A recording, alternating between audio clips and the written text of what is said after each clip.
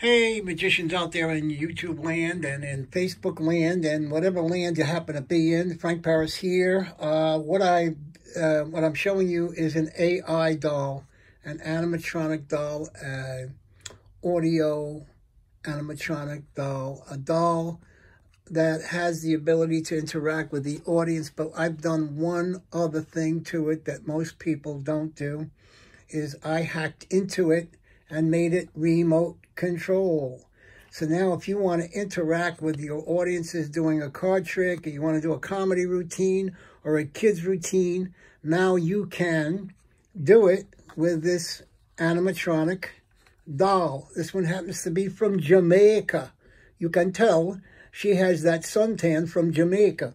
So I want you to know that this is not no easy task. I had to go in there. I had to rearrange the electronics. I had to add a receiver and a new battery pack, and this is the results. If you say to your audience, ladies and gentlemen, my Jamaican baby doll here is going to guess your card. She's the one that knows your card. What if I prove it to you, you say? Okay, and you've got this remote control hidden, all right? And then she, somebody in the audience selects the card. Say it's this one here. Let's make it easy. We turn it over and you say to your doll, whatever you want to call her, is that the card? Okay, and she says...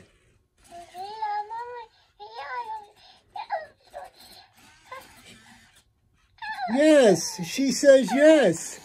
So there you go. She knows what the card was. It was the two of clubs.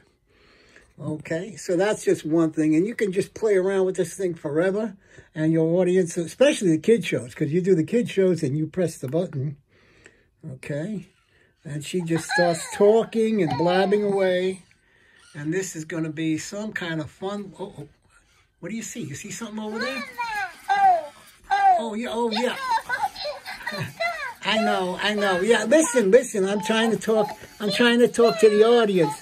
You have to be quiet just for a little bit so I can get what I got to say out to the, the, Okay, good. Thank you. Just a little. Oh, yeah, yeah. You a little tired? Why don't you go to sleep? Go ahead. Good. So there you go.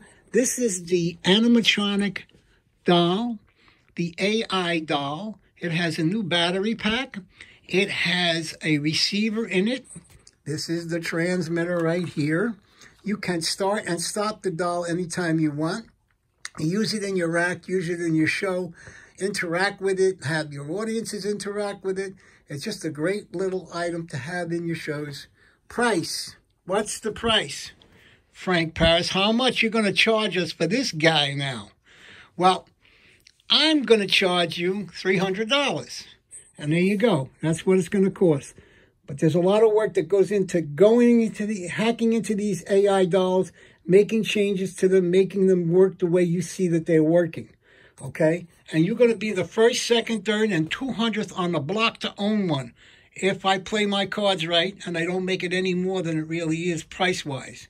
Anyway, thank you very much. And let's see, what does she have to say about the price? What do you got to say about it? Wake up. Wake up.